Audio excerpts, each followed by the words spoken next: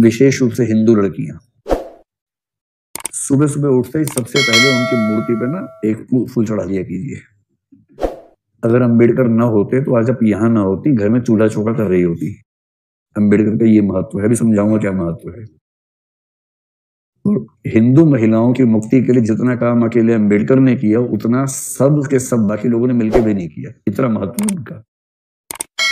और वो हिंदू शूद्र महिलाओं मंदिर की मुख्य पुजारी कभी किसी महिला को देखा चर्च में पादरी बनते किसी महिला को देखा या मस्जिद में मौलाना बनते किसी महिला को देखा? नहीं ना। लेकिन बाबा साहब ने संविधान में हिंदू कोड बिल लाकर महिलाओं को सभी अधिकार दिलाए। आज महिलाएँ राष्ट्रपति प्रधानमंत्री मुख्यमंत्री doctor engineer teacher I S P C सभी पदों पर है। यह सब संविधान की ही देन है। महिलाओं को स्वतंत्रता और समानता का हक संविधान देता है न की कोई मंदिर मस्जिद या कोई धर्म ग्रंथ।